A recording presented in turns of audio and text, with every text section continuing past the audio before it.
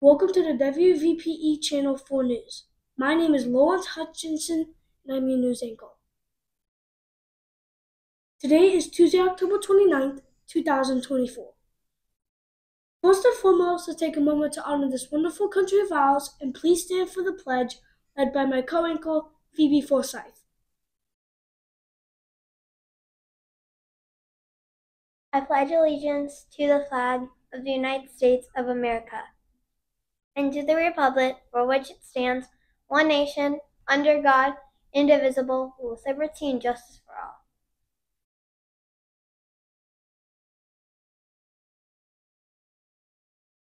Please be seated. Now we'll have a moment of silence to reflect on having a great Panther Day.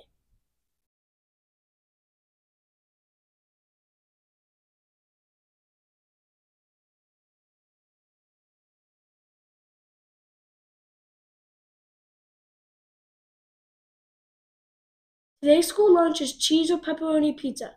Be sure to bring your best manners to the cafeteria and be sure to pick up after yourselves. The character trait of the month is honesty.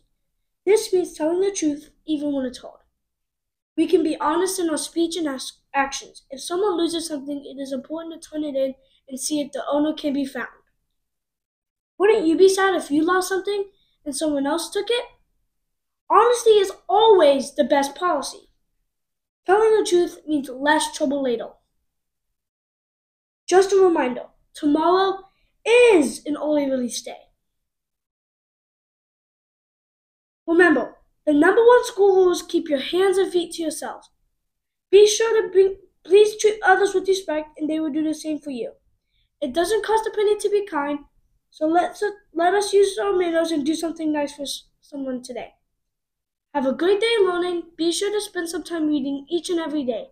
Just 20 minutes a day, and you can become a better reader in no time. Remember, readers are leaders. Have a terrific Tuesday, and we'll see you tomorrow. Bye.